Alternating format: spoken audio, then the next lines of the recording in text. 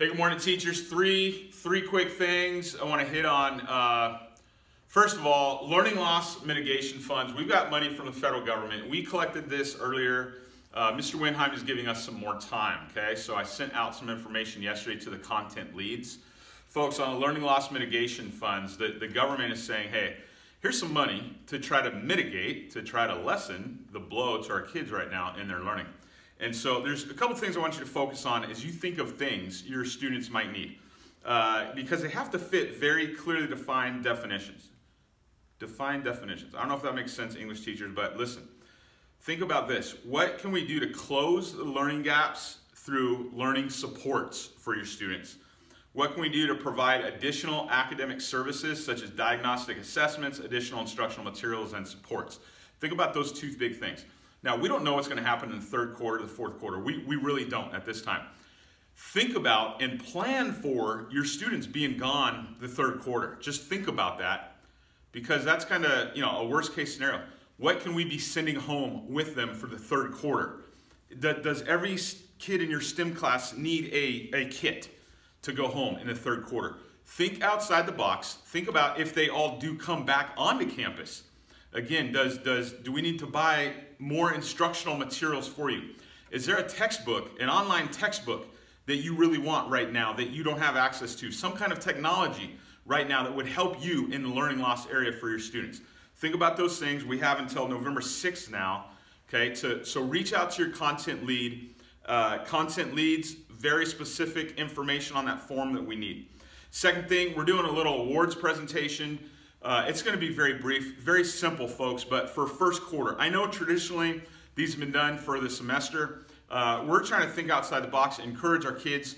So uh, one thing I'm bringing here to the school is we're going to have up in our office pictures of our top 10 kids, our top 10 seniors, academic, from their freshman year on up through their senior year, uh, top 10 juniors, top 10 sophomores, possibly freshmen. We got to look. A lot of times freshmen you get like 20 or 30 tied.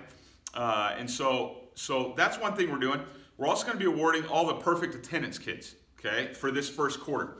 Another thing we're doing, Felicia is going to be reaching out to you this morning, uh, and we'd like, here's what we're doing. On the 21st Century Awards, I know there's been a tradition here, again, something we do at the end of the year where it's like one kid per, uh, per grade level. Here's what I want to do, again, just to encourage our kids at the time of distance learning. Uh, there's seven categories, right? Collaboration, initiative, being a critical thinker, curiosity, communicator, uh, analyzing info, uh, being agility, and, and adapting. Uh, these seven categories, Felicia is going to explain to you in, in a Google form. I want each of our teachers, just make this simple. Each of our teachers select one student of yours who fits into one of those seven categories. Uh, that's it. It's very simple. Each teacher selects one kid. Folks, listen. Our counselors are spending a ton of time reaching out to, to our kids who are absent and who kids who are struggling. So we're reaching out a lot to those, those, those kids kind of at the bottom, we would classify them, right? We're, we're acknowledging a lot of kids at the very top, perfect attendance, top 10 kids. We got a lot of kids right in the middle.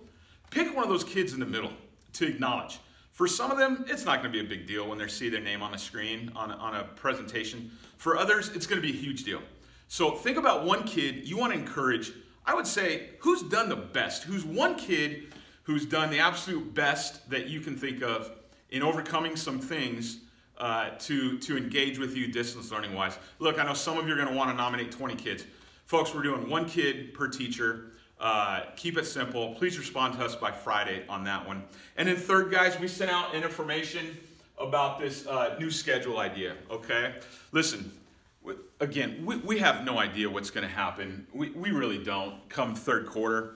This is one idea we're looking at. Some of the feedback that came back, confusing, uh, can't understand it. It's a very simple concept that a couple school districts are using right now, where we take uh, quarter three Students have three, just three classes quarter three, just three classes quarter four, okay? They're doing one class a day. That's it, one class per day. We have your group, your, your class broken into two groups. One is doing synchronous instruction on campus. The other is doing async at home. You're never teaching two environments at once. We do not want our teachers to do that. So you're focused on one environment at a time. Okay, and then they're, they're hitting here, you know, first period, second period, third period. So first period Monday, Tuesday, second period, Thursday, Wednesday, third period, Thursday, back to first period. Folks, this is one thing we're looking at. Uh, some of you absolutely hate it, and that's fine. That's okay. It's okay to hate it right now. Some of you love it, and that's that's great. That's fine. Uh, we don't know where we're going to be. If there's an idea that one of our teachers could come up with, please do it. Uh, you need to think about your kids not intermixing. They're coming into one classroom to receive their education. They're not leaving that classroom the entire day they're here.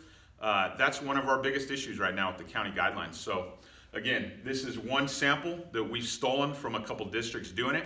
I've talked to those districts, they love it. I've talked to some of those teachers, they love it. it the, the one downside is a 150 minute class, that's a long time. None of the instructional models that we we, we choose to go with are going to be perfect. Nobody's going to love them all. That's where we're at. We're going to have to find out what we think will work best for kids first, uh, teachers second, and, and go with that.